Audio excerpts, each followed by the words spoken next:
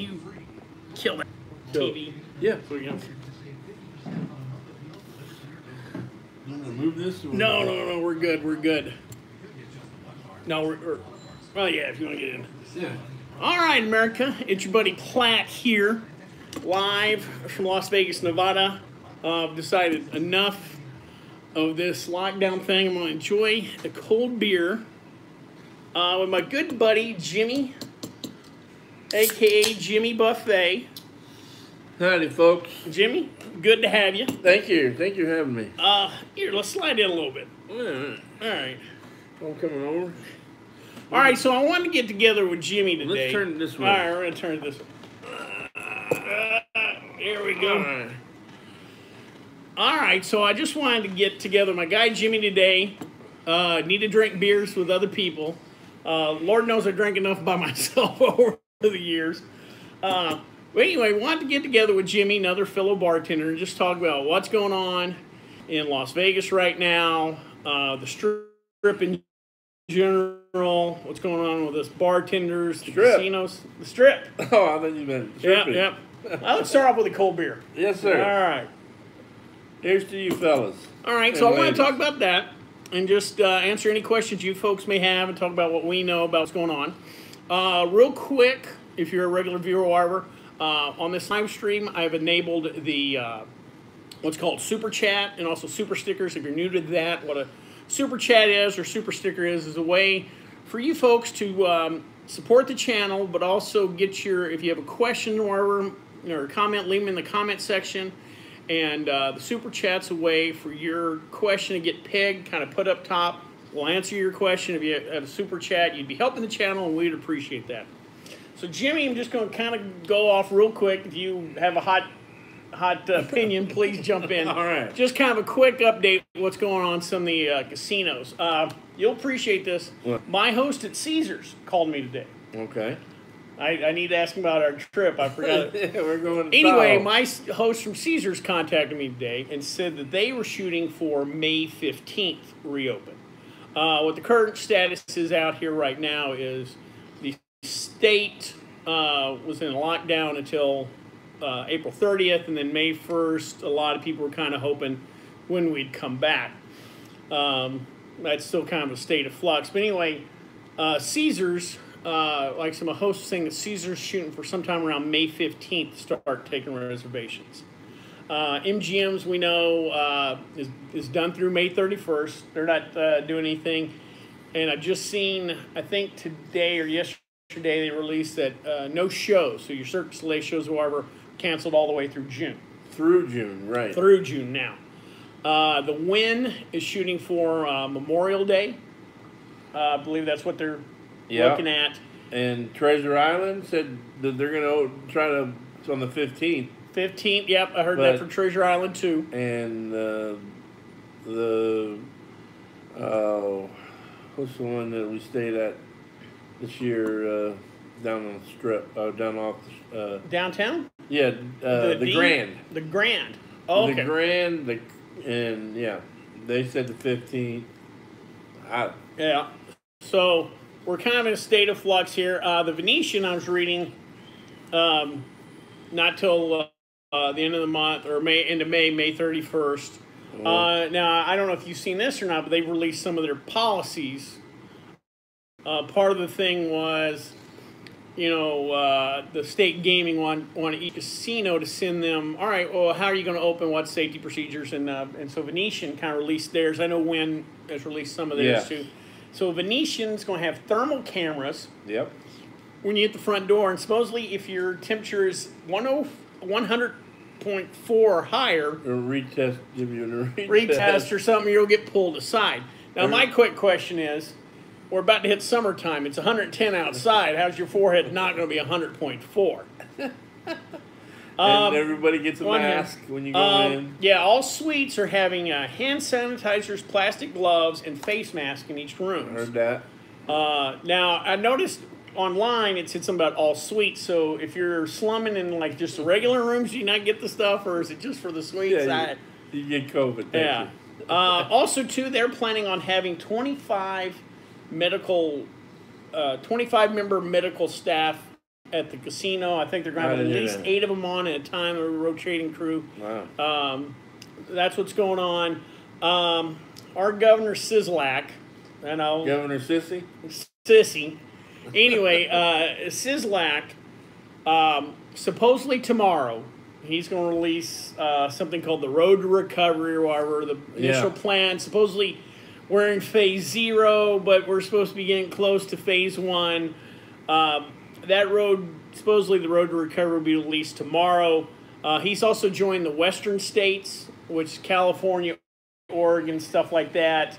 And uh, basically, he's going to follow their lead um, the western states deal. Those guys are all, all the other governors in the western states are all pushing back, you know, when this thing's going to open. So if he's going to follow their lead, it, it might be a while. Uh, the one thing that supposedly is going to be announced tomorrow What? is that they are going to supposedly loosen up. Oh, I didn't catch comment. Sorry about that. Um, is uh, elective surgeries. You know, if you had like, let's say a torn ACL or whatever, you couldn't get that done. Uh, supposedly they're going to start opening that back up. Dental procedures. I'm sure there's some reason we couldn't let the dentist go to work, but uh, dental procedures and outdoor activities. Uh, our good buddy Maddie supposedly Golf, fishing. yeah, supposedly you couldn't put your boat in the water, so uh, at least we'll get to go fishing. Get the wet a line. A um, couple more quick notes. The World Series of Poker delayed. I don't know if you heard that or not. Painful. Yep, not till sometime in the fall. You know, I was getting. I I had to admit, I was, I was telling my roommate this the other night. I was walking around, it's pretty warm out here, and some about the temperature warms up right before the World Series of Poker, and I was like, man, I'm getting World Series of Poker time. I'm getting the itch. Okay, ready to go to Rio. People have been fishing here in PA. Oh, it's good to hear. Well, our governor out here. Well, hey, we don't have a lot of water, so there's not a lot of fishing out here. I, I'm fishing for a buzz right now. Uh, but yeah, well, I guess I guess you've been able to fish off a dock. I know one of the local, went to Sunset Park and people were fishing there. But as far as putting your boat in, they wouldn't allow that. Yeah. Um, one more thing, a little bit of sad news. I don't know if you heard this or not. Joseph James Brewing closed. One of our small microbrews in town announced yesterday they just can't make it, even though they've been allowed to sell direct to the cut, you know, curbside pickup, growler, stuff like that. Um, I don't know if you heard that or not. no, I did Uh, not. that's kind of a bummer deal. So Jimmy, what uh, what's your opinion, pal?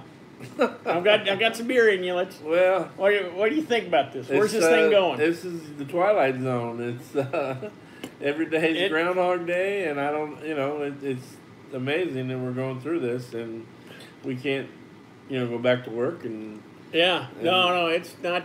Hadn't been fun. Well, but our it's done wonders for our beard. you it I. has done wonders for the beard. Yes, I, us and Howard Hughes were. I, in full, a bit of full disclosure. First time in my adult life I've ever had a beard. I've just never Oh. had a goatee before back in like the nineties when this kind of thing, but uh, handsome Never- guy you are. never. you know. I will tell you that I'm ready for a haircut. Beards look good. I appreciate that. Thank you. Thank you, thank you. A lot of white. Play, it's kind of like in hockey, the playoff beard. you know, yeah. until until we win the cup, we'll keep growing the beard. So, have you caught any? You know, there's some. Uh, you know, the casinos do want to get back open, yeah. and there's all kinds of proposals on some of the safety issues. You know, they talk about well, every employee needs to wear a mask. All right, wear gloves, Gloves. washing. But one of the things, have you seen some of the mock-ups they've had on like how they're gonna like partitions between slot machines or Yes. partitions between? And at What, what do you think about that? What do you think oh, about oh my that? God. It's crazy. I see, you know, and it's everything's plastic this, plastic that. I mean, I don't know how you're gonna do that in the casinos that the, where if you're playing uh, video poker or you know slot machines, those are gonna be harder. You- You're gonna have to separate them more. Um, you know, because you want six feet. Not that we're we're six feet apart. Yeah, no, no. But we've been to six beers at least. Yeah, yeah, six beers. Uh, Oh, but I mean, you know, I guess they're gonna sanitize the dice every roll at a crap table. Everybody's gonna have gloves.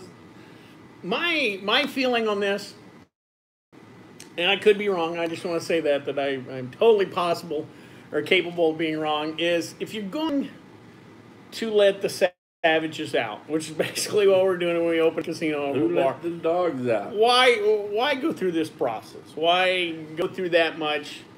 Uh, I, I find it funny that we're going to go through all all this. Well, you have the protecting, you know, the gamblers and shields and employees wearing masks.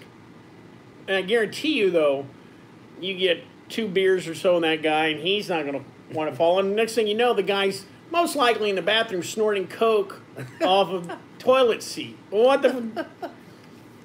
Thank you. I mean, the reality is, what's the point of going through all this when we know this guy's going to take, you know, guy or gal, hook up with somebody up in the room and do nasty stuff up there?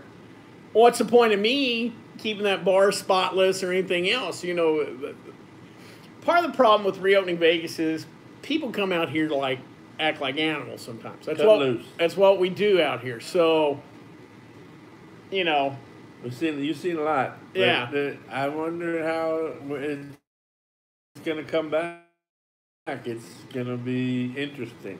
Yeah. So, um, I w- I'd say this though. I I think the casinos. I, I know the casinos. Some of the casinos, some businesses are sending out, uh, inf- or uh, polls, informal polls, stuff like that. Want to get feedback on how should we open? What's the procedures? What would you tolerate? Because that's part of the thing.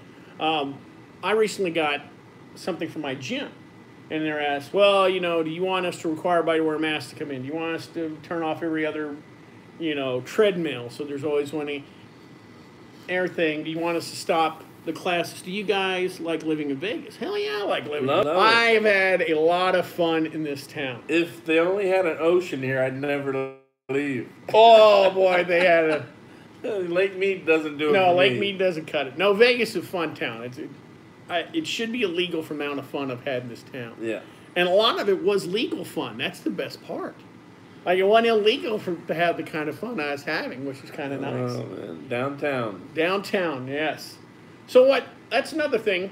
You kind of remind me. So I don't know if you've heard, been listening to Governor lately, but No, The try, gov- not, try not to. uh, I'll drive you to drinking. yeah. Um, the governor has kind of implied that well, we're going to open so slowly. It's like a forty-seven phase plan, or whatever, you know. Yeah, we Uh, like nail in- salons are phase 13 and like casinos are nail or like phase 45 or something like that in, in And these bars are like never. yeah uh, but anyway he kind of implied the governor's kind of implied well we might open up you know some local joints and some local restaurants then maybe eventually the local casinos and then maybe down but that the strip would be last well we just can't do the strip we just can't open that up what what's your uh, hot sports opinion on that Well, I don't know. I heard. I mean, Aria might not even open until the first of next year. That's- as, as one. I mean, I mean, you know, you hear Yeah. all kinds of things, but yeah it's just. I mean, we're going to be one of the first ones, the Bellagio, but um, if they. Aria's not going to open until the first of the year. Are you kidding me? Yeah, that's uh, that's an interesting decision these companies got to go to. Is are you going to keep five casinos open at ten to fifteen percent, or one open at seventy five percent, or why? You know, it, it's interesting to see. And if you're again Caesar's Palace, but Caesar's Entertainment, so I will throw you in Planet Hollywood instead. Are you are you going to want to go? Ah, no, I don't like Aria. I mean, no offense against Aria. I just don't feel comfortable in that casino. Yeah. I don't. I'd, I'd rather. but I think our casino is, you know, really a comfortable casino. Uh, you know, some of the other ones I don't mind, but Aria is, to me is like, I get just I don't get the vibe. Yeah. Now, what do you? Uh, I get your opinion on something. My my casino host when he uh, should be coming out, and that, and I got I get a kind of feeling though that they will be semi aggressive in in the comps and hey, we're gonna give you free rooms, we're gonna give you, you know, this, that, and the other. Um, I know supposedly in the MGM survey they sent out that they kind of hinted, well, what do you guys feel about free parking again? Um, even though I'm not sure if you think about, especially the high end guests, they don't park anyway. Parking's kind of a California thing or local thing, but I. What do you think? Oh, I got. I think I, I got somebody's card that I can get Oh, in, that I can get into for free. Yeah. we, won't, we won't talk about it. No, but it, it, I think they need to start relaxing some of that, and even the resort fees. I mean, Yeah. that's ridiculous uh, charge Well, you know the point behind it, though, right? You know why they do it. because they can. Well, part of the rub, this little uh, inside baseball for you guys out there, you- especially the Vegas casinos, but it's pretty much everywhere now. The resort fee. A lot of people are like, why is the resort fee? They're gouging me this, that, and the other. Right. Part of the problem what the casinos run into, and uh, is actually, uh, I want to say it was Derek Stevens of the D in Noir was explaining this one time. Part of the problem is when you go online, let's say you go to Orbitz, Expedia, or you're looking for a room in Vegas. Let's say downtown. We'll use downtown as a good example Right. and you you look downtown you're like hey i just need a room and look for the cheapest rate and you see the d at 75 bucks a mm-hmm. night but you see the four queens at 65 you're like well fine i'll stay at the four queens. Now what the happening was four queens had a $15 resort fee where the d didn't but you just saw that it was cheaper and you just signed up. It's not till you get to the end of the process at Expedia and Orbitz that you see the final price, but you already kind of made the purchase decision. And what he was saying at the time, he, I think he was the last downtown not to do the resort fee, and he was like, "I'm getting killed." And a couple of the other smaller casino operators in town tried to fight it, but again, when you went online, it appeared those other hotels were cheaper. They kind of had to fall in line. Also, too, from what I gather, the way Expedia and Orbitz and all those charge the casinos is based on your your fare.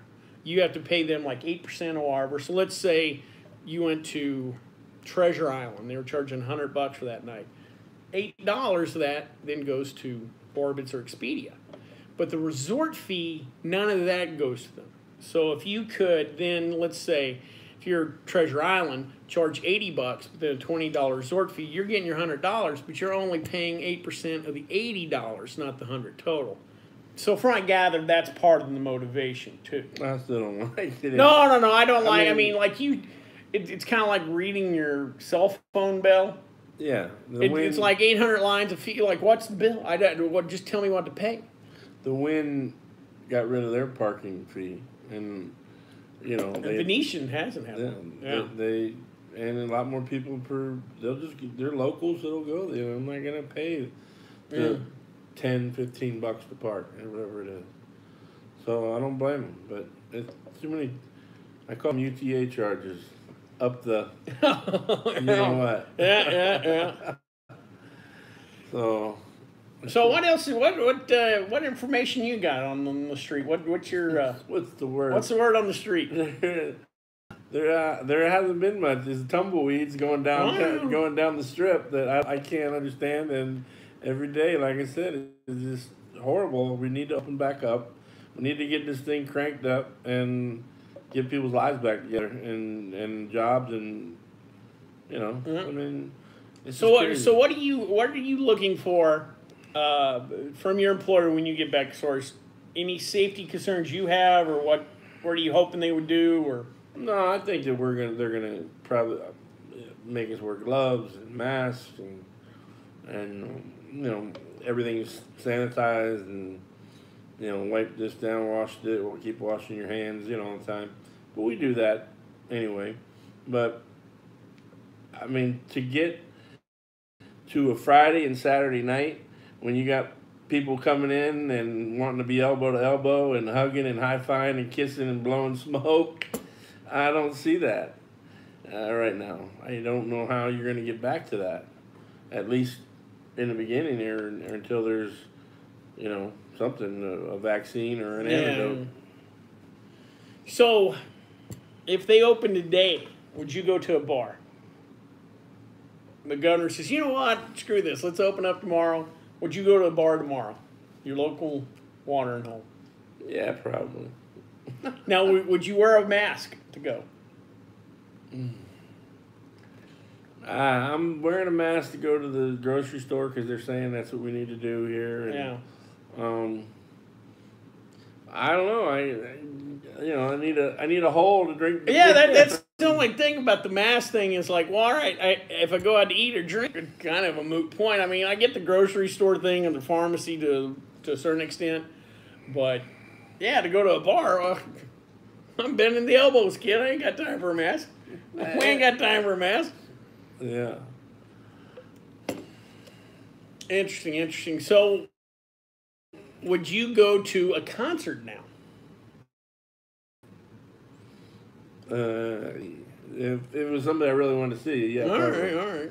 Um, sporting event, same thing. Um, I don't know. I, maybe I need to wait and then let people put their foot in the water first, and then I'd be uh, right behind them once I see if it's okay. The Yeah. the water's okay. You know. That's what I got a feeling we kind of have going on right now is a big game of chicken with, with a lot of these states. No one wants to be the first guy, especially if it doesn't work. So they're like, well, you go for it. Well, you and then they don't want to get sued. You Yeah. Know? So yeah. I agree. Yes. Um, so how long do you think it'll take before we get back to normal? When when do you think the first time you just you're gonna look up and your bar's full and you're just like, shit, we're busy again. Shit, where do these people come from? Where when do you think that happens? Man, I hate to say this, but the way things are crawling, another year from now, Really? I hate to say that, but See, I, I've told people this, and it's just my opinion. I remember 9 11, yeah, yeah, that's what I wanted to get to. and uh, This is life changing. This is Yeah, but I remember 9-11 and like, well, all right, no one will ever get on a plane again. You can't go anywhere. We're, we're all just frightened to death or whatever. Um, yeah, things were slow for a few months, but people still went to the bar the next day. You know, uh, I, yeah, was this is worldwide, man. I mean, I mean, yeah, but I mean, we're terrorists. Al Qaeda was going to kill us all, all to death. 180 something. murder and kill us. They, I mean, uh, planes from everywhere. Um, we're, you know, we're talking about. No, I hope- we're no, talking I hope I'm you know, wrong. Virus here, yeah. I hope I'm wrong. I, I just, I mean. I well, that that 9/11, no one was cooped inside. Yeah, a lot of people might not travel. They didn't spend as much, but they could still go to the local restaurant. They Absolutely. still knocked one back. They still got to go to their job. Yeah, I mean- this is, this is off the hook. I was uh, at, at the time of 9/11. I'll never forget. I was managing uh, Starbucks, and we shut down halfway through that day. But I had people coming to me while we were closing. They're like, "You guys closing? Well, I got shit to buy." I'm like, "Know what's going on? A little, little, little thing called uh, terror going on right now." People did not want to even quit shopping then, and we were open the next day and everything. I mean, we weren't as busy, and obviously, you know, the conversation of the day was was this. But I got, I get the feeling that this thing is just going on so long now that there's a lot of pent pent up demand, I guess. And when people get out, they're gonna they're gonna be ready to go. rage. Yeah, yeah, rage. Yeah. I don't know, man. I'm like I said. I just hope so. I hope sooner than later, and uh, keep my fingers crossed. But I think this is where our state is just going so slow with our governor, and so Yeah, no, no, no. It is definitely frustrating Nevada situation. Um, I think Vegas opens up. You guys are going to be insanely busy. I People hope so. cooped up Thank for you. too much. Yes, I I agree. People people are wanting going to get out now. I think. Well, for one thing, and I was telling this to a buddy of mine. This is before they delayed the World Series of Poker. Buddy of mine was like, "Well, is anybody going to come out for them?" Like, do you know your average poker player? They got they got they got to have action. They're ready to gamble. And I got to, you know, think about the guys, the hardcore sports bettors that haven't had any sports to bet on, haven't been able to go to that horse book and bet ponies at Del Mar. I got a feeling those guys are going to be ready to go. I got a feeling the first day they open the casino's doors, they're going to be surprised in the number of people that walk in. Yeah, but a lot of people lost their jobs, and so the income that they had, some of it expendable to put to use on gambling and betting, ain't there.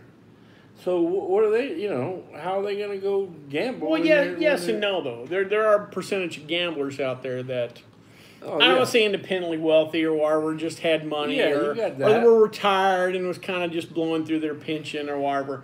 And I, I don't think they're going to just let go of that action because, like, oh, maybe I need to be more responsible right now. No, I don't see Mm. that. I Yeah. see people that just have money and and Yeah. their expend their expendable money that they have. They're not going to be have it because they haven't. Yeah. They've been on unemployment or Yeah. lost their job. No, I think I think you're middle of the road gambler, definitely.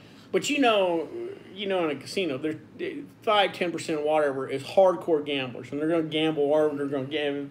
They just gamble. That's what they are. They're gamblers. And those folks are going to be back day one, and they're going to be there each. You know, um, that's an interesting one. The poker players, you know, because the tables are all together, and the thing is, you need multiple players. It's not like blackjack.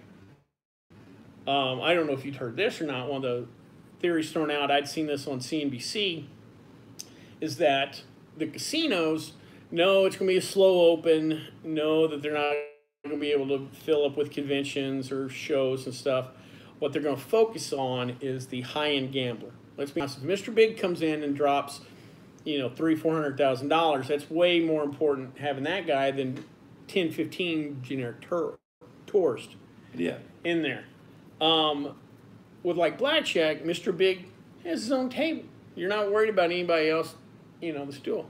Uh, Mr. Big can have his own slot machine, high limits, you know, craps, water Poker, even the big players, well, I need another, at least one or two other people in there before that even works. You know, yeah, I guess if you're Doyle Brunson, those guys, you can play big heads up matches, but they generally don't like that. They want more uh, customers Action. action. And, Live action. Live action. Woo. Yes. so, uh, thoughts? When, I don't know, brother. Uh, I'm just waiting and seeing. I hope the gentleman that just sent in the that we go back to work is correct. yes, yes. No, I, I hope so too. That will be busy. Um, what uh, do you have any sage words of advice for our unemployed brothers and sisters in the bartending world? practice, practice. No, I mean we're losing the touch there. You know, you're not uh, you're not playing the game. Uh, no, but I mean, as far as what we're gonna do when we go back, or what what to do. No, I don't. We, Well, you- we go you- when we go. You brought up something good. I was already becoming a bad bartender before we shut down. Why? Now- well, I just I got lazy. I, I work in a bar that's fairly slow, and that I'll just leave it at that. Fairly slow. I might. There's literally some days I might make eight or ten drinks in an eight-hour shift. but you might make. I don't know. Uh, The IRS don't need to know that. Anyway, I only make a few drinks in a shift sometimes, and, and I've gotten, to be honest, lazy. I'm not not the bartender I was eight to ten years ago. Just because I just don't. It's off. Besides that, oh, I bet I'm terrible. I bet I don't even know how to pour a Budweiser anymore. uh, second nature. To pop with your left hand. It's, it's a Second technique. I got. It's a technique I got. No, everybody will be all right. They just need to get back behind the stick Yes, yes. And start making that money and feeling good and taking care of the people. I mean, that's what I miss. I miss the people, man. I mean, from all over the world, and you know that we get because we're in Vegas. Yeah. and a lot of our we have regulars. You got regulars. I got regulars. I mean, we miss those folks and want to touch base and you know be with be with them and Yeah. just have a good time. No, I tell you, someone asked earlier if we like living in Vegas. Well, one one of the great parts about bartending on the strip is just the silly stuff you see. I mean, we're constantly entertained by our guests, and yeah, that is definitely a, a- a part I miss. Um, again, because what we part of what we do in Vegas is people come out here and just let themselves go. It's alcoholic. And, and we're uh, we're kind of providing you know a little bit to that. Well, as I like to say, you know, I'm an adult, I'm a adult Santa Claus. You know, I like to spread a little happiness, give give the gift of uh, booze out. You know, sprinkle the infield. sprinkle the infield, yes, yes. Right. So, um, you know, I yeah, I was asking you what advice you give to other bartenders. Uh, something we discussed about before we went on the air. I I hope.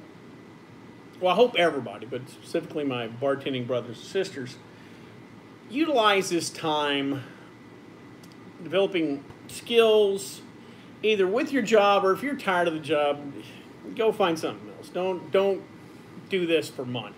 Well, I mean, we are we're all work for money, but uh, what I'm saying is, if you don't like it, you know, take this time, move on to something else. But if you're a bartender, if you're a lifer like we are, work on your skills right now. You know, work work on your spirit knowledge, beer knowledge, what have you. Uh, also, I, I would uh, take some time now to learn about money. Uh, something I've tried to talk to younger bartenders in the past about is handle your money. One thing about what we do is we always got cash on hand. It's easy to live a certain kind of lifestyle, and Lord knows I've lived it. And Jimmy, I'm sure he'll uh, concur. Yeah. But uh, you will get older like us too on these days, and you just you need to be smart with your money. And this should be a wake up call on just being smart with your money. Um, learn about investing, even though you might not have money obviously right now to invest. But I would definitely take time. You know, get you a book, go online, read about it. Um, uh, maybe maybe somewhere down the line I do. How's the virus affecting you over there? Uh, well, specifically in the state of Nevada, uh, Yeah, the, two people. The, the numbers aren't big. I think 5,000 cases and a little over 200, 200. deaths, 220 deaths. but a lot of people, we haven't been tested that heavily. No. And one of the big things, one of the big things too, I'm glad you brought that up, is can't get an antibody test. The reality is a lot of people may have caught this already. You know, to be honest, I, I don't doubt that, that Las Vegas has kind of already gone through this because we had Chinese New Year's. Yeah. And at the end of January, I got real sick. I'd had some vacation time, I had a doctor's appointment, and I got real sick after gone to the doctor's office. Well, I don't have to explain to you what your average doctor's office waiting room looks like as far as potential infection. So I was in a petri dish when I went to the doctor back in January, and again, that was during Chinese New Year's, we get a ton and tons of people from China uh, come over during that time. So uh, there's a chance I might have already caught it and gone through this. But unfortunately, the way they're doing the testing out here, and I've, I checked into it, I can't test it for the antibody because I'm not sick now and I have no symptoms.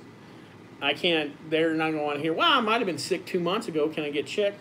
They won't do it. Yeah, but if you have the ability to give that plasma that they're talking about that helps Yeah. these people out there, they should test you because you said you might believe you've had it. And if you have had it, Yeah. and now you can donate your plasma, and who knows, you could save several people's lives maybe. Yeah, but they, but from what I gather, just to qualify for that testing, I don't qualify. That's where it's bullshit. Mm, yeah. But, uh, but anyway, yeah, that, uh, you know, like I said, the antibody testing, I think that would help us out. But like I said, uh, you'd ask, you know, how we're doing in Vegas. We're all just bored. This whole thing's sketchy. Well, don't get me started. I drink, I drink enough as it is. Um, I'll drink to that. yeah, we'll, we'll drink to that. Uh, I do want to say I understand people's fears. Um, we've been pelted. Excuse me. Like, yes, yes. refill. Refill, yes. Well, the kid, the kid's an athlete. Now you can look at him and tell. Uh, any- I'm a natural. Yes. Anyway, I totally understand why people are scared or nervous about. it. I mean, we've been just totally pelted in the media about this whole deal. And again, the numbers, you know, when you think about X thousand dead, X million cases, I get it. I, I totally understand. I think I think we need to find some kind of uh, balance here. Uh, but again, the, the effect on Vegas, we're just not open. It doesn't look like we're opening anytime soon. Our governor don't want to open anytime soon. Um, we got a lot of people out here with a lot of free time on their hands that can't go to the bars and stuff. And we're kind of used to all that stuff. So, uh, but we're hanging in there. We'll get there eventually. Feeling better now. There you go. Yes, definitely feeling better. Um, what do you think about sports? Let's let's. How about the red flag laws here? Red flag laws. You know what he's talking about? Red flag laws. No, I don't. I do not. I'm afraid I don't know about red flag laws. I think I've We heard the term, but I don't Yeah, I uh. Uh, Oh, unless you're uh, referring to the gun. I wonder if that's what this is the gun thing. I don't know. I think your buddy Sisolak, when he first came governor, I don't know enough about the topic. Not, not not trying to chicken out, but I really don't know enough about the topic to properly articulate about it. Uh, Nevada, if you're not aware, is a huge gun state, guns right state. Gun laws, Virginia and oh yeah, yeah, getting hit hard with yeah, gun laws. Uh, yeah, I remember our governor doing something when he first came in. He's gotten a lot of pushback. Um, actually, oddly enough, he got enough pushback on it people started a petition to get him recalled, and now then this broke out, and actually there's a lot of traction now uh, to get him recalled between the gun thing and now this shutdown, this extended shutdown, his reluctance to reopen. There's actually now a push and a petition to get him uh, recalled. So that's that's going on right now. So yeah, they're We need our guns. yeah, they love their guns out here. Uh, Nevada is a gun crazy state. If you're on the strip, there's no gun ranges or anything, but just off the strip are a ton of gun ranges. If you're a gun guy, come out here, check out one of these gun ranges. Uh, Battlefield Vegas. You know, they take you out in the desert and let you shoot one of them big saw guns or an old school Gatling gun or whatever. Fly on a helicopter and Fly shoot. on a helicopter, shoot up stuff. Oh yeah, I don't know. You want to get your gun on. Vegas is the is the place to be. Definitely, definitely. Well, I went to Oklahoma about a, six months ago, and man, do they have guns! Yeah, they love guns in Oklahoma. And you're a. Texas guy, Yeah. so they love their guns in most of the southern states. Oh yeah, yeah. No, no, no. They love they love their guns down there. So so uh, sports. What do you think's going to happen with sports?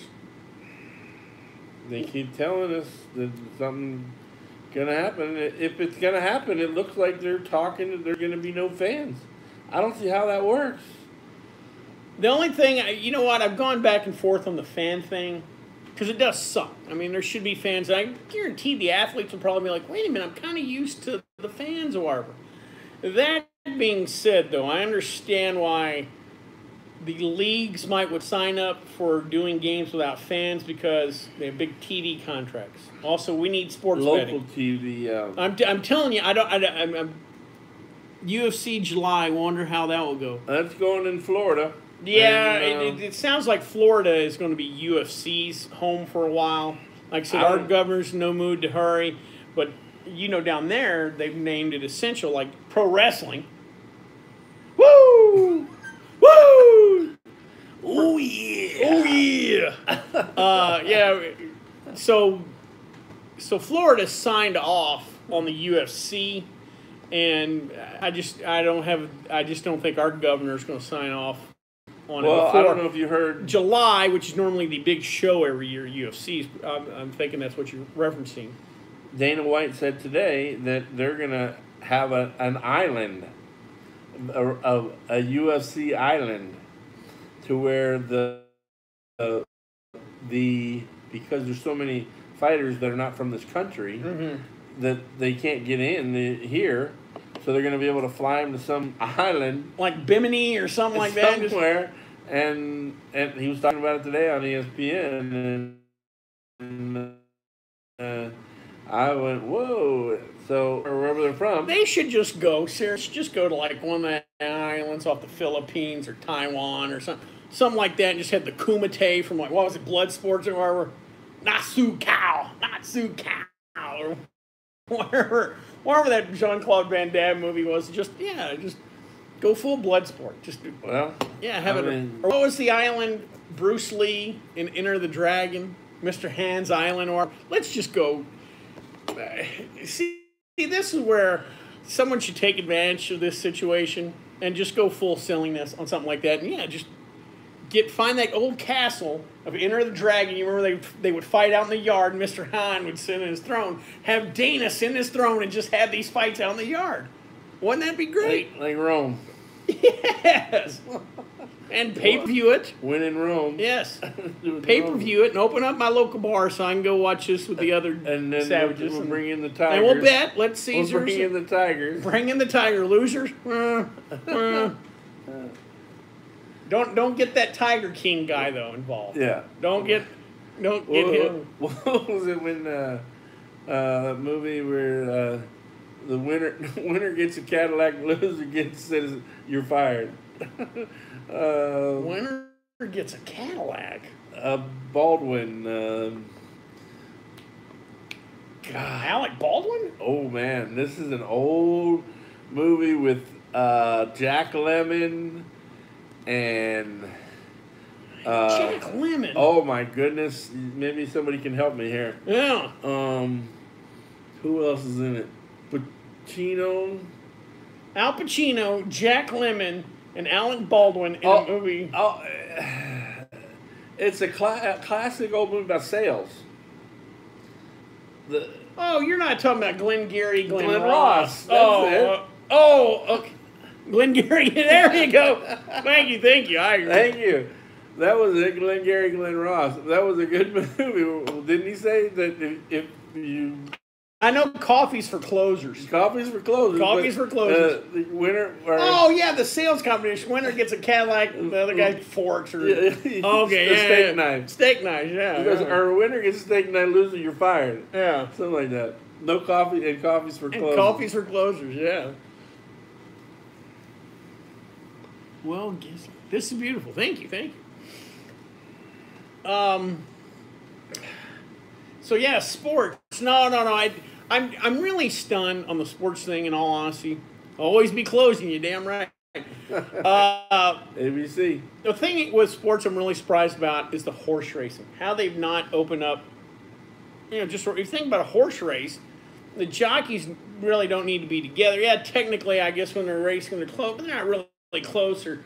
And if you if you've gone to a racetrack lately, they're not crowded normally anyway.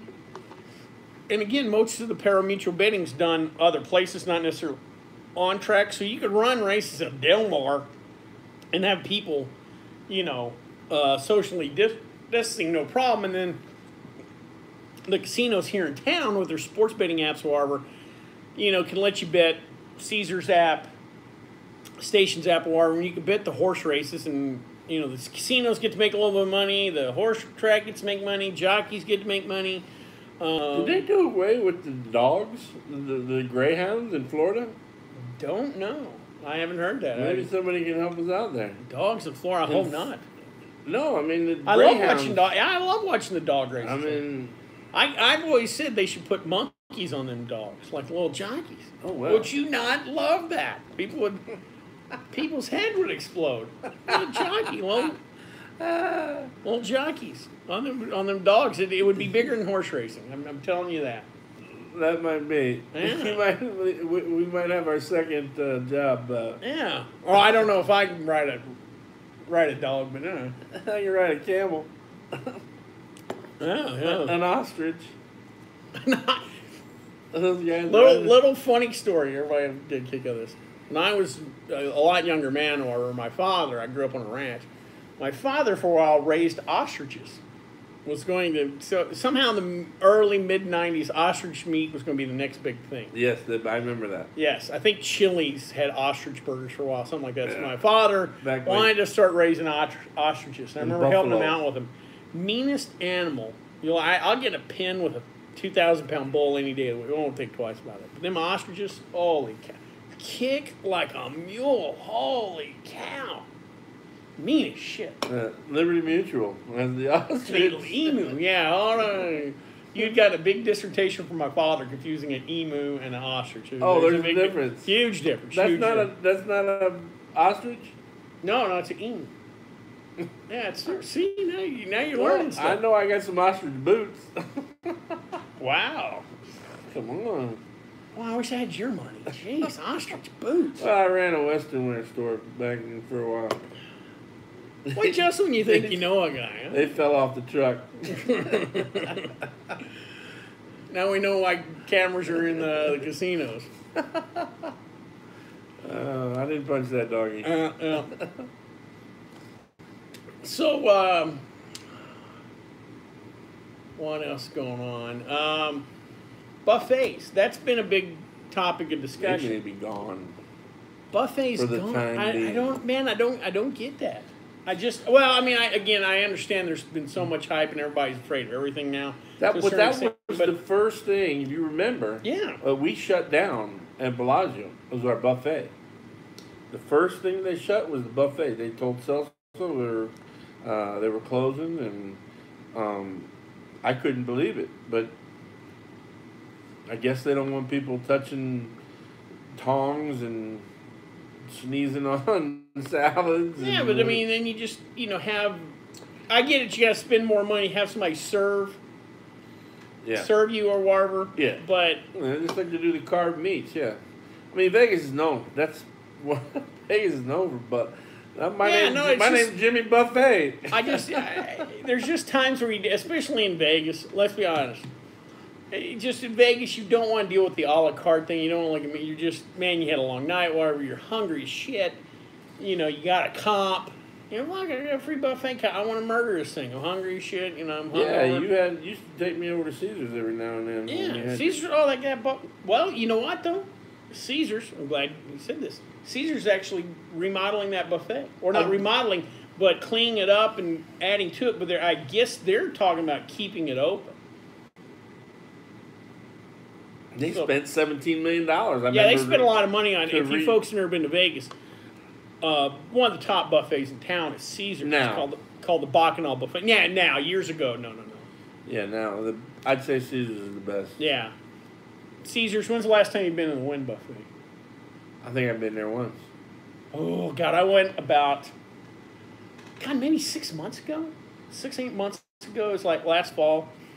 Just bored one night. I'm like, I'm gonna go to the Wynn because I always love the Wynn. That's to me It is- that that's it- to me the nicest casino. It is beautiful in the Wynn. And I wanted to go, and I got there, and none, all the restaurants were full. And one of the restaurants I wanted to go to, I was wearing shorts. I wanted to go to Sinatra's. Well, they wouldn't let me in with shorts. I'm like, ah, screw it, I'll go to the buffet. Holy cow, what a nice buffet! Just good. Can't remember. I, I went once. Really nice, really ago. nice. I mean, it's not cheap. You're going to spend fifty bucks Well, so is Caesars. plus. Yeah, so Caesars and yeah. Yeah. No, no, no. But, I you're going mean, to you spend can- money, but you can find a buffet that's you know. but they had like quail legs and shit like that. You're not finding that in a lot of places. I don't need that. Yeah. I don't need that. But I mean, what's the one uh, that OJ got popped at? Oh, what Cosmopolitan? No, OJ got arrested. Uh, A the, buffet? no, no, at the station's casino. Oh, Palace Station. Yeah, Palace Palace. Station. Well, that they- buffet's nice now. So they they, well, they changed it. remodeled that hotel. and Actually, it's cheap. oh no, no, reasonable. Actually, Palace Station was the first hotel I ever stayed at in Vegas. first time I ever came to Vegas, twenty something years ago, or whatever. Stayed at Palace Station, and I've I've had great times there. That that's one of the hidden gems of Las Vegas. Is Palace Station. It's a couple of blocks off the strip. It's on the other side of the interstate. Uh, on the north end of the strip, it's called Palace Station. But I think they still run to this day shuttles to and from, from the strip, and it's reasonable rooms, uh, reasonable food and beverage. Yeah. You know, They got they've good- remodeled. It's clean. You know, not nice and clean now. I've just had a lot. They got a great oyster bar in there. Oh, the oyster bar, If you folks. the clam chowder. Oh, I could eat a gallon of this stuff. Holy cow! Tom, even Tom Brady would like that. Tom loves it. Yes. Uh, but yeah, He that's thinks- a good. That's a good one uh, uh, for the money. Yeah. You know. All right, let's talk about that real quick. First places when we open back up, even us locals, first places you want to head to when we open back up. Where you want to? Where are you going to? Where, Well, I where's got- your first spot? Where's you your know, you know. I know where your first spot, but I want you to tell the crowd. Oh well, folks, I'm a fan. We have a bar off the strip, little hidden gem that I call uh, Ellis Island. I don't call it that. They named it that. It's called Ellis Island, and it's right behind Bally's, one street behind it on Koval. So it's it's due due east of Bally's. And they make their own. They brew their own beer, Yes, own brewery inside. Yeah. Uh, great root beer. root beer. Oh my God, they brew their own root beer. That's unbelievable. And they have some fine eateries in there. If Good barbecue. say- If you want barbecue on the strip, Oh. tough to beat. Uh, they have a pizza joint, Metro Pizza. Metro Garlic Pizza. nuts. Oh, Oh, to die for. And the cafe, I mean, you want to get a prime rib. I think that one day I took you, what did I get? The The double, cut, that thing was That like, that thick. 40 ounces or something. For Impressive. like 30 bucks. And also, one caveat about Ellis Island, this is important on your next trip to Vegas. Uh, best karaoke on the strip. Oh, yeah. On your They strip. got it. I mean, They got a great karaoke lounge, packed every night. Everybody's having fun. They've got a book that thick of songs. If there's something you want to sing, they got it. and it's a so- small casino. Small casino, just a block off the strip, That, that's where, uh, Ellis Island. yeah, Ellis Island. But uh, on the corner of Koval, there is where uh, Tupac got shot. Yes, yes. And- if you go a block south from this casino, was the corner street corner where Tupac got shot. You go down a block or so, you're behind MGM. That's where he was shot And you, did you know years that? ago. So you could you- you, did could pour one for your homie right there on that. Did you know that he, uh, when he, when the first cop got to him at the car, he was still alive, and they said, "Who shot you?" And he said, "F you." True story. I'll be damned. I, I was not there that night. I, I wasn't there because I didn't shoot nobody, but Yeah. um, uh, that was told on a TV show, local uh, TV show here in Vegas, and the cop that went to the window, the window, he said, "Who shot you?" and F you, cop. so uh, Tupac. well, so my first spot, and I've, I've debated this, but the other day I drove by and I posted this if I know you. on- I'm gonna think. I'm gonna, all right, all right. ahead. I'll let you take No, it. no, I'm not. I'm, no, I want you to say it. I'm gonna. All right. I'm, I'm in my head. I'm. Uh, I was driving around the other day. There's a great little hidden gym here in town called Frank's Tiki Lounge. Oh, You ever been to Frank's? I have once. Strongest drinks in town. It's called Frank's Tiki Lounge. It's a little northwest of the strip. It's it's kind of it's kind of in what I call kind of a dead man zone between the strip and downtown. There's like a three mile or so segment that's not safest neighborhood. You're not walking through that area, or you generally don't want to be walking through that area. And it's a couple blocks west of Las Vegas Boulevard, so it's kind of off the beaten path. But it's called Frank's Tiki Lounge. Every cabbie and Uber driver knows how to get there. Stiffest drinks in town. I'm, I'm telling you, I'm getting nosebleed from the drinks. Mai Tai, zombie, stuff like that. And the way they rate their rate their drinks is by skulls. Like they have a couple drinks that are five skull and one one. You're drinking one. You could try that second one, but you ain't finishing it. It's, it's ten And that's times, coming from uh, a professional like me. uh, five times a Long Island iced tea. Huh? Oh God, it's it's those drinks because part of the deal is in the back behind the bar is they have the cheapest rot gut overproof 151 rum, and they top everything with that. So you Oh. might have some Bacardi and some Myers and some this, that, and the other, and you might have a little orange carousel and all that, and then they just float the shit out of this rot gut 151, and you're Not just even Bacardi. oh no no no no no, it's not. Uber. But uh, yeah, do Uber. Yeah, do, don't go to Frank's. Don't drive to Frank's. It, it's pointless.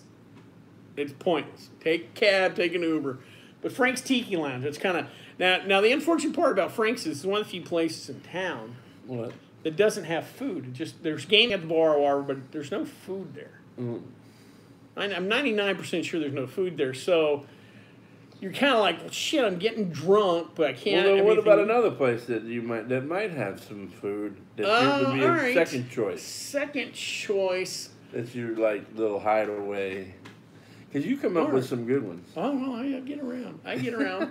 um, you know where I'm in the mood for now, again, it's another local joint, but it's not. It's actually technically it's on the strip. It's way south. Bootlegger. You ever been to Bootlegger? You know what I'm talking about. So about four miles, three four miles south. Well, it's by the outlet malls. You know, south of the strip. Oh, I did see it. I've never been in. Bootlegger is kind of a local uh, local legend. It's an Italian restaurant. Uh, the current location, they've only been there about 15 or so years, 15, 20 years. But the restaurant's history dates back, I think, all the way to the 40s. And inside they have some old photos, of whatever. But it's classic old school Vegas, classic old school Italian joint. They have they have a little lobby or foyer area, and then they have the main dining room. But then they have it off to the side. They have a separate lounge slash gaming area, and that's open 24 hours. Good morning, you guys. Hope things are better soon for Las Vegas bartenders. Joe Constantine. Joe. Joe, my man. Good to see you. Gosh, I- spearmint rhino or sapphires? You can't go wrong with either. Gosh, you can't you can't go wrong with either. I'll say this. This is the way it's always been explained to me, and you you correct me if I'm wrong on the sapphire spearmint rhino thing. uh, Sapphires is the largest strip club in the U.S. and it's di- disproportionately the largest thing we got out here. Uh, Rhino supposedly has the highest quality girls. What? Let's uh, get your feedback on that. Um, I don't really go that that often. Uh, there's Yeah. there, you know, the old one down by Jerry's Nugget, uh, uh, Palomino. Oh yeah, That's the original mafia one, and, and Yeah. you know, but well, Glitter Gulch. to- totally naked, no booze though. Yes, No booze. If you go there, BYOB. you better better slide it in your boot. A little- BYOB. I'll tell you a funny story about that. There's a joint. I don't know if it's. I, I think it's already closed, but if not, it's not surviving this outbreak. There's a, there was a place not too far behind the Venetian on the Industrial. It was called um, Can Can Room. I came out here for a Roy Jones Jr. fight back in like 2002, 2003, something like that. We went there afterwards. Somebody told us to go to this strip club, and it was it was all new joint and they told us what's BYOB. Well, there's a convenience store right, literally hundred feet from this. So we went and got like a case of beer. We're going in, and they're like, "Oh no, you can't take it in." What do you mean you can't take it? Well, BYOB, right? Well, yeah, but uh, you can't bring it in. what? That's most fucked up. You know, if you guys aren't selling, there should be no problem with us bringing it in or whatever. So we had to leave our beer outside. We watched the girls for a little and then we'd go back outside. Well, this place is so bad. The girls are so terrible that me and one of the other guys, we had a group about seven or eight of us. So me and another guy, just we just hung outside and drank beer out front. They were larger guys, so everybody would come up and start handing us IDs. So we so we just act like we're door guys. All right, all right, you're going inside. And we get a bunch of Marines come in, and they're they're starting to like, you boys don't make me come in here and starting. You boys better not start no trouble. Yeah, you guys have a good time and shit like that. We sat outside. It was Hell, such a terrible strip club. We didn't want to. You probably could have valeted a few cars. And Oh yeah, off yeah. No, there's uh, little darlings. I'm told by Raymond. My first was Olympic Garden. Lo, Tosh, you'll appreciate this. I don't know if you know this little fact. If you go to Olympic Garden, Olympic Garden has gaming machines inside. They have video poker.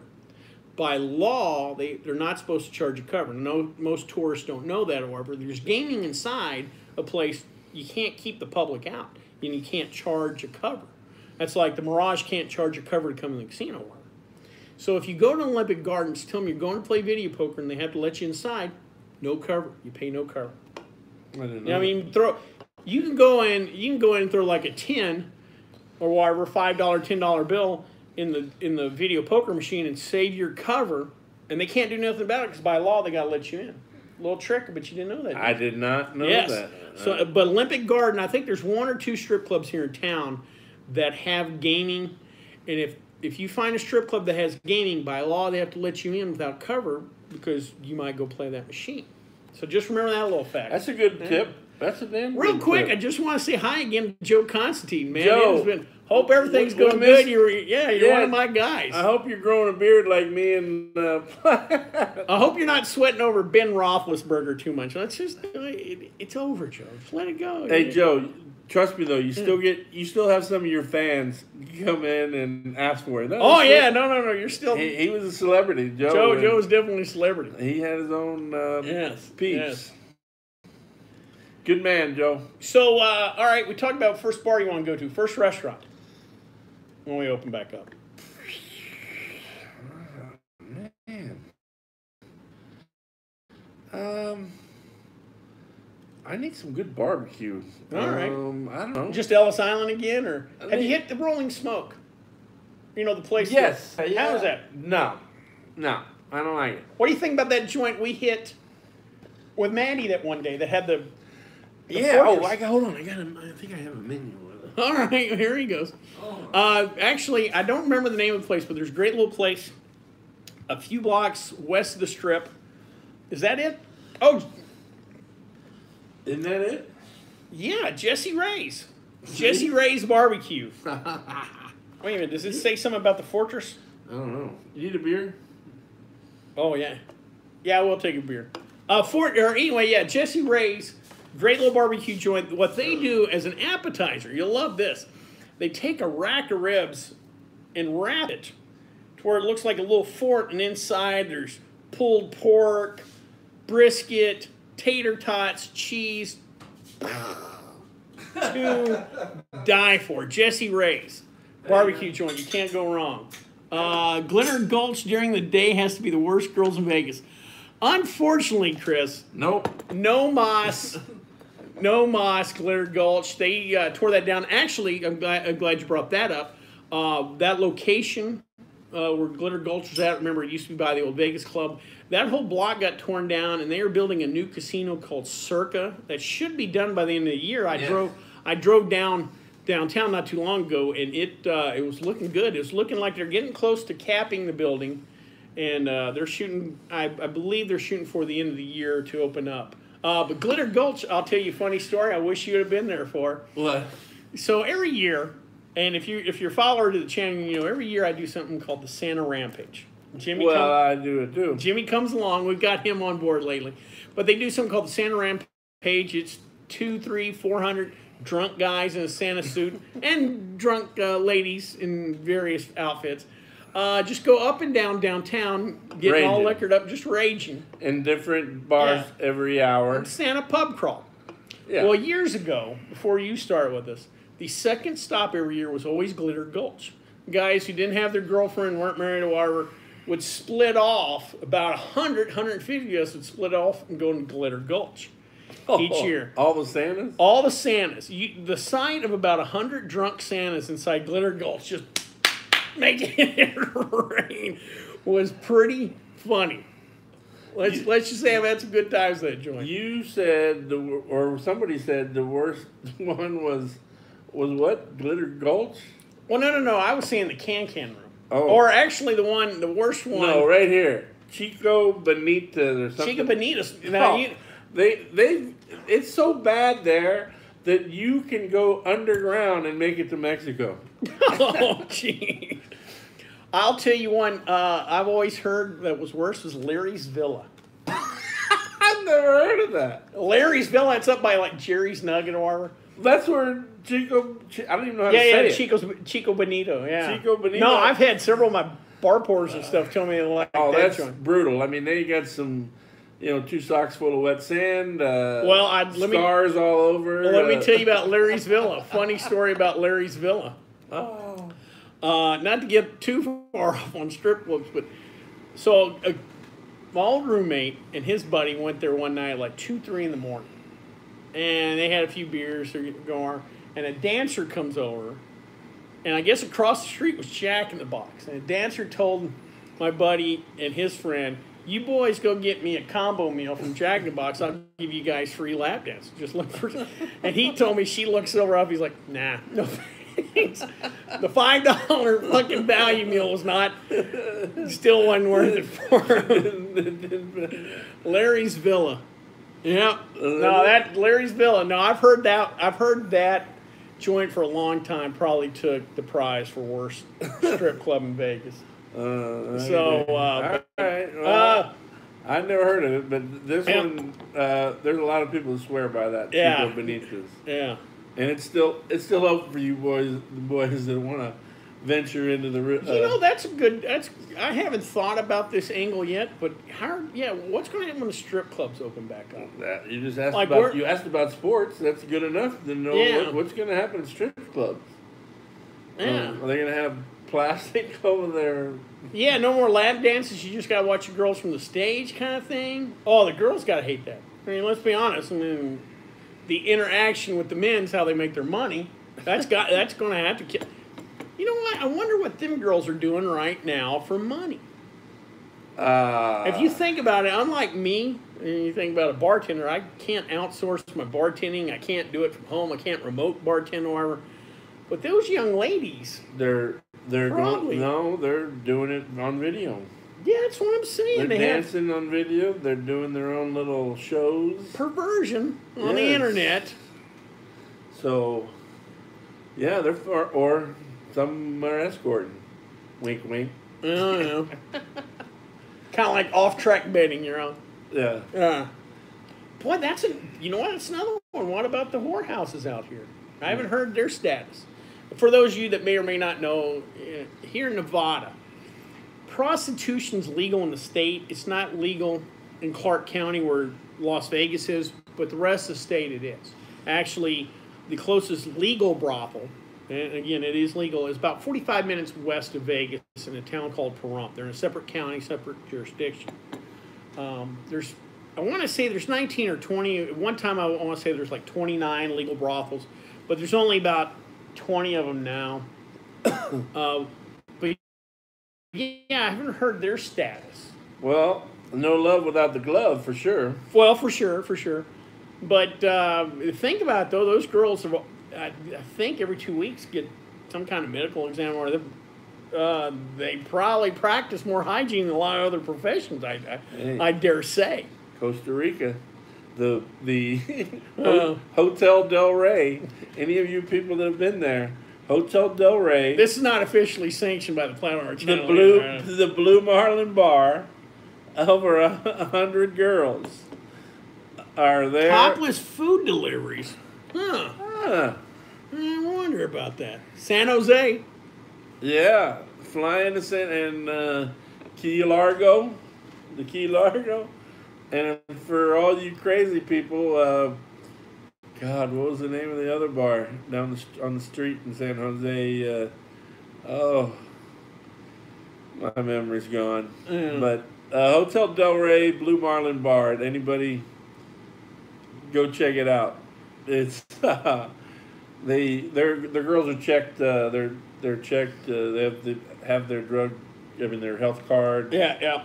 They have to have uh, all kinds of tests and. Uh, I've been thrown out.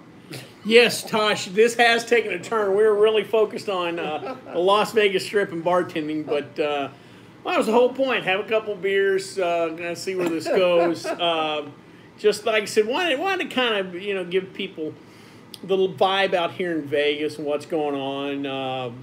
Again, we're actually not really hit hard by this virus, as, as crazy as that may sound.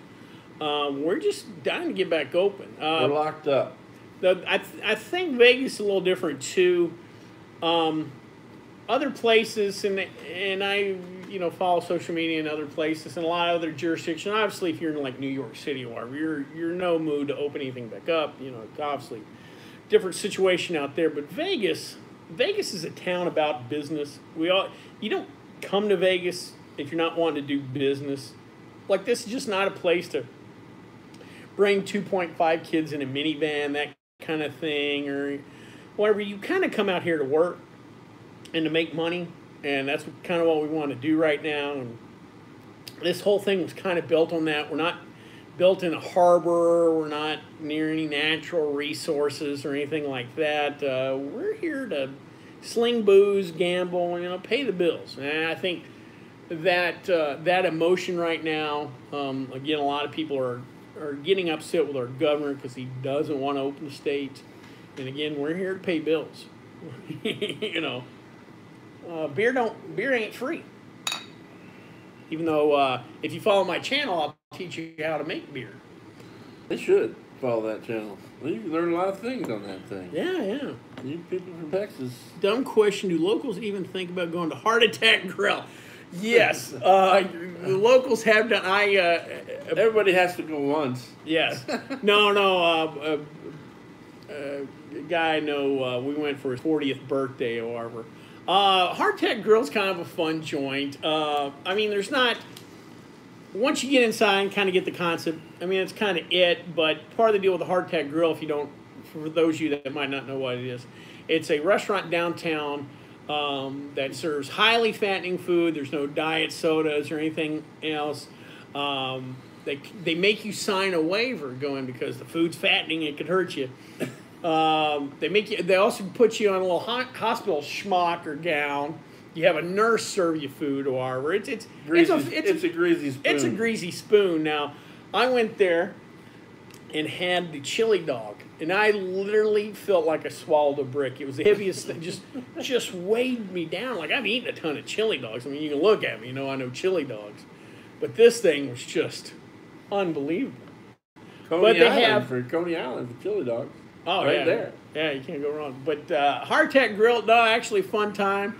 Um, they they do the gag. Uh, like I said, there's no Diet Coke. They do the real Mexican Coke with real sugar in there. Uh, if you want a shot, they put in like a little pill bottle. And then they weigh you, don't they? Weigh you Well, they have a big scale outside. If you weigh 350 plus, supposedly you eat for free, you're get a free entree, something like that. And everybody weighs. You can just weigh yourself on that scale up front. Uh, supposedly, if you don't finish your meal, they have a nurse in there with a paddle and smack you.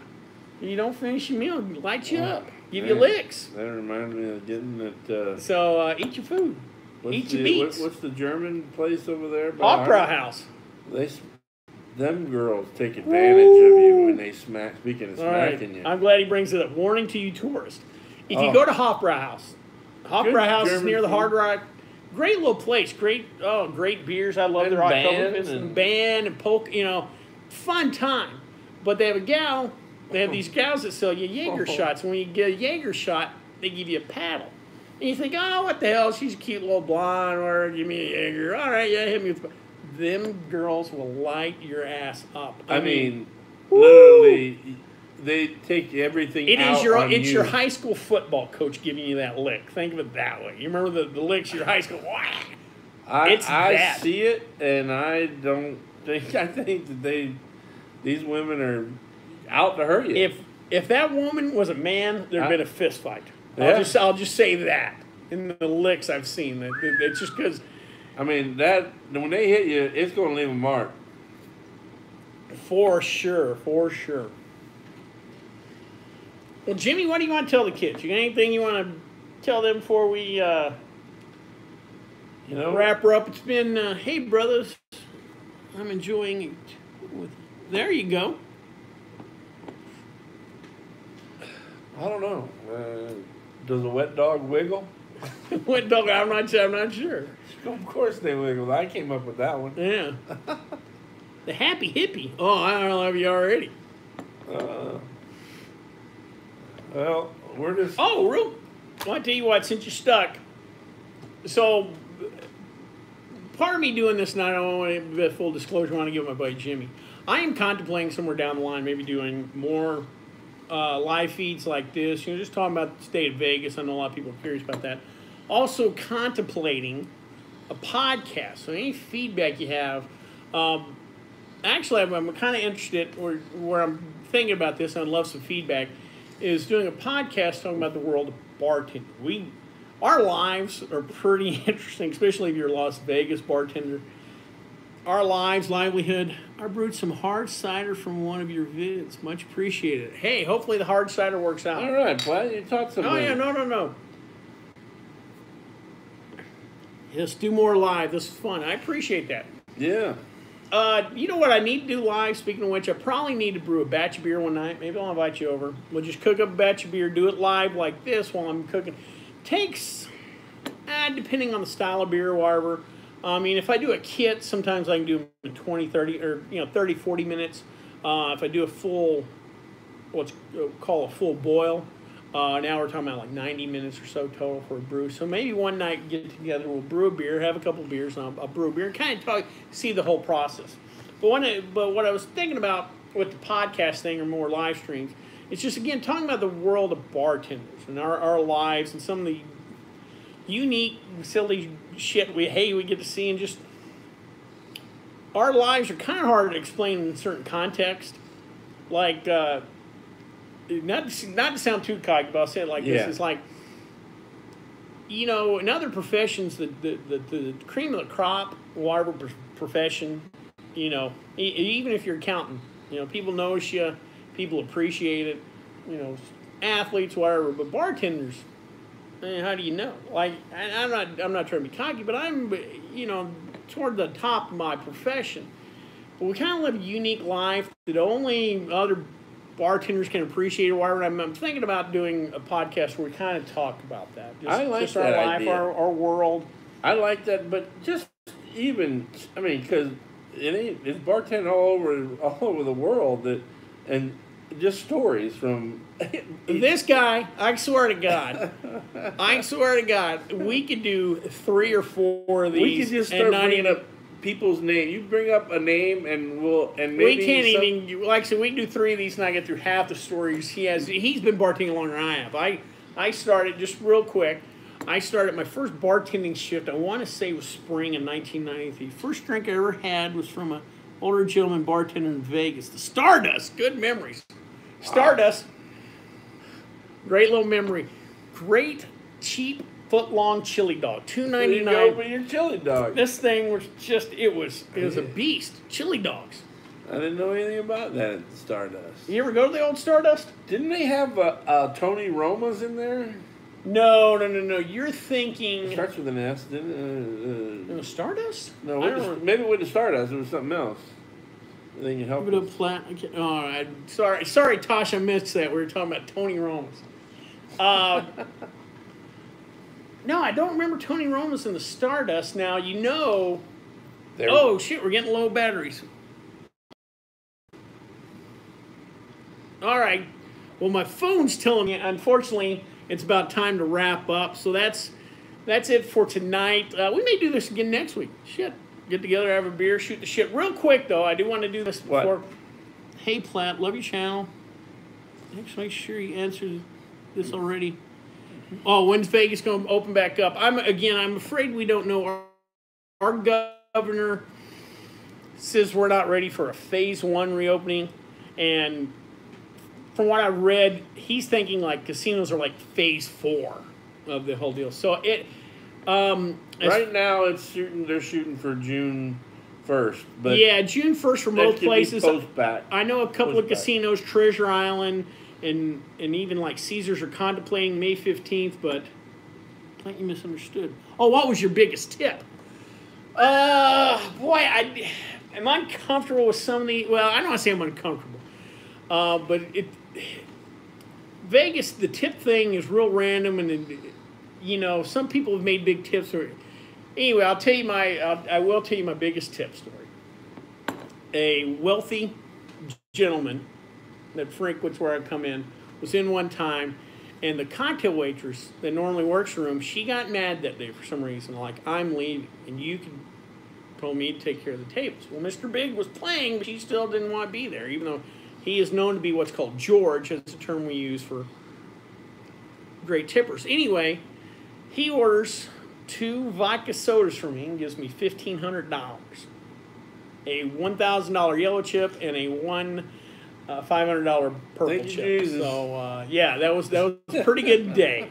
Uh, that being said, um, I to be honest, uh, to be honest, where I were, where we were, or uh, the room I work in, or whatever, um, that's on the low end of the scale. Actually, uh, I've known Yeah, uh, a lot of. There's been a lot of uh, five-figure tips in that room. in but- your room. I worked one night by myself and late night, and I accumulated. I mean, it was 200, 300, but, Yeah. but 2,700 bucks was the it ended up just from one guy for me. Yeah, see, I, And you know what? I- I, hit. Yeah. I'm more of a singles guy, and just in the world tip, I I've not hit those five figures or whatever. Like I said, fifteen hundred is my biggest. Uh, Hundred dollars at a time is kind of how I earn it. But anyway, that's my tip Yeah, but story. were, these guys are gambling. They're playing blackjack and they're winning. They're just chip, black chip, Yeah, black yeah, chip, yeah. whatever. I mean, some of the girls they, you know, get cars and Yeah, no, no, no. We uh, that uh, same bar. I remember year, years ago. I think before you started there, there's a young lady that had her mortgage paid off there. So yes. God. All right. So real quick wrap up because again the battery's about to die. I want to ask you one quick question. A little hmm. survey get everybody to think about to wrap up. Best drinking song. Wow. Jesus. Best drinking You, song. know, you should have given me a head. Oh up. no no no! I like this on the fly. Uh, David Allan Coe. I was drunk the day my mom got out of prison. You know what? You can't go wrong there. you know what? I thought about this, and I have a ton. I don't know. Um, you ever heard the old uh, Red? I think it's Red Thompson or Six Pack to Go. No. That's a great tune. But I'm going to have to say, and I know a lot of people are like, oh, now you're you're wimping out. You're being uh, Margaritaville. I I've, I'm, I'm a, just- I'm a Buffett fan. I'm not, a too- parrot head, but a Buffett fan. yes, I've ended too many nights with that song, um, and just worked at too many bars that play, and I, it just it takes me back to a certain time or. So. Yeah, that's a good one. All right. Well, I want to thank everybody for watching. Uh, one bourbon, one scotch, one beer. You damn, that's a great tune. That's a great tune. Unfor- you know what? That song though, that's one of those songs that if I'm in a bar and I've got some whiskey in me, that one gets me a little frisky. That one's all right. Uh, he sang another song, uh, if I believe, uh, I Drink Alone. oh yeah, well George Thorogood, yeah. Is that who that is? Drunken Nights, double or seven Drunken Nights. I pretty don't know that one. Um, George Strait used to have one years ago. When one of his first albums, he had one called "80 Proof Bottle of Tear Stopper." Oh, what a great title! "80 Proof Bottle of Tear Stopper." All right, kids. Seriously, I do need to wrap. I hate to do this, but again, the battery's dying on me. I want to thank everybody for watching. Uh, we might do this again next Wednesday. I will uh, let everybody know. Jimmy B's. Why don't we get drunk and screw? Oh, you can't. Jimmy B's catalog. I don't. I don't think you can go wrong there. Uh, but anyway, we'll, we may try this again next Wednesday. We would love your feedback. Again, love your feedback on the podcast. And uh, until next time, Um, I just want to say Bottoms up. One more thing. all right. As old Casey Kasem would say, Oh, yeah. keep your feet on the ground and keep reaching, Reaching for the stars. stars.